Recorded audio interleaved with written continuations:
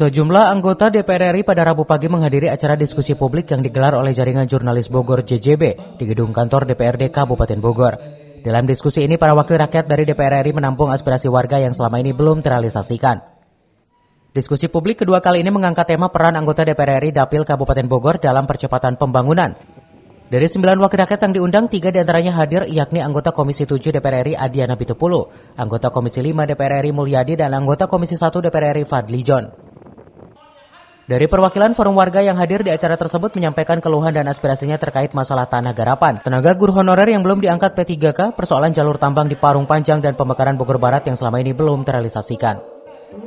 Anggota Komisi 1 DPR RI Fadli John menyatakan semua permasalahan yang ada di Bogor seperti jalur tambang di Parung Panjang, kemacetan jalur puncak, dan persoalan pembangunan infrastruktur fisik maupun non-fisik, sosial, pendidikan yang ada di Kabupaten Bogor menjadi PR anggota DPR RI untuk menuntaskan masalah ini masalah-masalah yang ada di Bogor yang itu merupakan kebijakan nasional, saya kira anggota DPR ini adalah alat instrumen yang bisa menjadi eh, bagian dari solusi.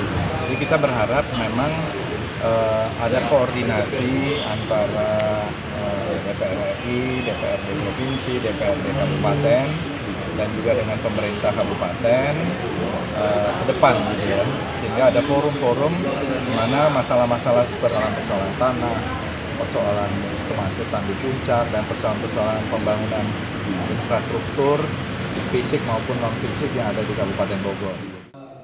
Tak hanya itu, untuk mendukung pembangunan Kabupaten Bogor bisa lebih maju, anggota DPR RI juga berharap agar dari komponen masyarakat untuk menyampaikan permasalahan yang ada di Kabupaten Bogor.